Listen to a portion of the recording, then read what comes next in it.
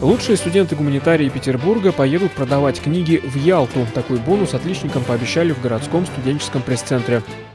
На встречу к будущим журналистам, дизайнерам, верстальщикам и фотографам приехал председатель комитета по печати и взаимодействию со СМИ Сергей Серезлеев. Он предложил молодым специалистам поучаствовать в нескольких проектах, которые в ближайшее время планируют запустить город. В основном на поддержку студентов комитет рассчитывает в Ялтинских петербургских книжных аллеях, которые пройдут с мая по сентябрь уже в следующем году. Нам отдают центральную набережную или главную набережную в городе Ялте, где мы будем а, реализовывать э, книги наших современных петербургских писателей, книг о Санкт-Петербурге, о Ленинграде. Это будет достаточно такая серьезная, даже можно сказать, такая политическая акция.